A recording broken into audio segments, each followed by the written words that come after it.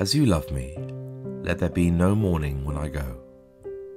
No tearful eyes, no hopeless sighs, no woe, nor even sadness.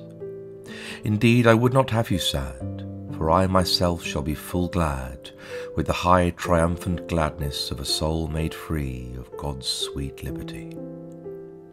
No windows darkened, for my own will be flung wide as ne'er before, to catch the radiant inpour of love that shall in full atone for all the ills that I have done.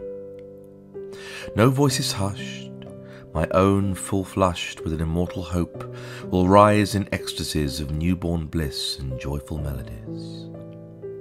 Rather, of your sweet courtesy, rejoice with me at my soul's loosing from captivity.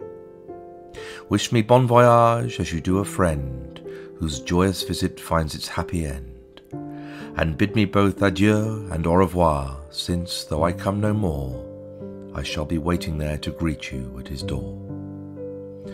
And as the feet of the bearers tread the ways I trod, think not of me as dead, but rather happy, thrice happy. He whose course is sped, he has gone home to God his father.